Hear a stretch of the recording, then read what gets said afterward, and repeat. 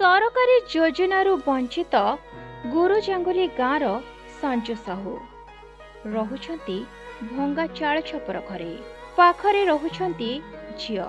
ଅଧିକ ବର୍ଷା ହେଲେ ଘରେ ନ ରହିପାରି ଆଶ୍ରୟ ନେଉଛନ୍ତି ପର ଘରେ ଏବେ ବି ସରକାର ଯୋଜନାରୁ ବଞ୍ଚିତ ଅଛନ୍ତି ସଞ୍ଜୁ। ତେବେ ସରକାରୀ ଯୋଜନା ତ ଆସୁଛି କିନ୍ତୁ ଅଧା ବାଟରେ ବାଟବଣା ହେଉଛି।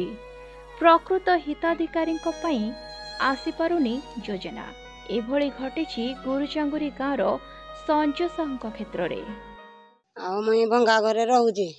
ମୋ ସ୍ୱାମୀ ନଷ୍ଟ ହେଇଯାଇଛି। ଆଉ ଚଳିବା ନାଇଁ ଭାରି ଅସୁବିଧା ହଉଛୁ। ବର୍ଷା ପାଣି ହେଲେ ଯାଇ ପଡ଼ିଶା ଘରେ ରହୁଛୁ। ଖାଇବା ପିଇବା ପିନ୍ଧିବା କିଛି ସୁବିଧା ନାହିଁ ଆମର।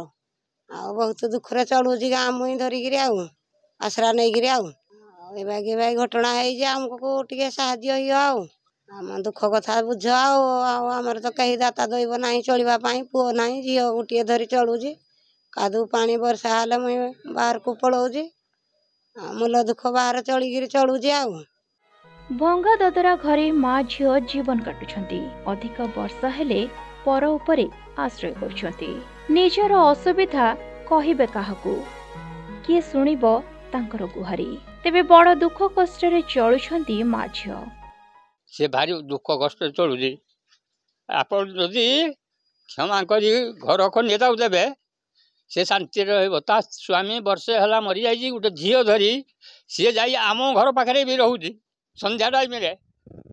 ଆପଣ ଯଦି ସରକାର ତରଫରୁ ଏଇ ଅନୁଦାନଟା ନଦେବେ ତାହେଲେ ଆମେ ଯାଇକିରି ଆପଣଙ୍କ ଅଫିସ ଭିତରେ ବି ଯାଇକିରି ଏଇ କଥାଟା କହିବୁ। ତେବେ ମା ଝିଅଙ୍କ ପାଇଁ ଆଖି କାନ ବନ୍ଦ କରିଦେଇଛି ପ୍ରଶାସନ। ନା ଏମାନଙ୍କ ଉପରେ ନଜର ପକାଉଛି ନାହିଁ ଏମାନଙ୍କ ଅବସ୍ଥା ସୁଧାରୁଛି। ସେପଟେ ବର୍ଷା ଦିନ ଆସିଲେ କଷ୍ଟ ଦୁଇଗୁଣ ହୋଇଯାଏ। ଭଙ୍ଗା ଘର ଛପର କରିବାକୁ ସକ୍ଷମ ନାହିଁ ସଞ୍ଜୁଙ୍କ ପାଖରେ। ଜରି ପାଲକୁ ଘୋଡ଼ାଇ ଚଳୁଛନ୍ତି ମା ଝିଅ। ତେବେ ଘର ଖଣ୍ଡିଏ ପାଇଁ କେତେ ଗୁହାରି କରିଲେଣି? ହେଲେ ଏଯାଏଁ ବି ମିଳିପାରିନି ଘର। ଏବେ ସାଇ ପଡ଼ିଶାଙ୍କ ଘରେ ଅଧିକ ବର୍ଷା ହେଲେ ନେଉଛନ୍ତି ଆଶ୍ରୟ।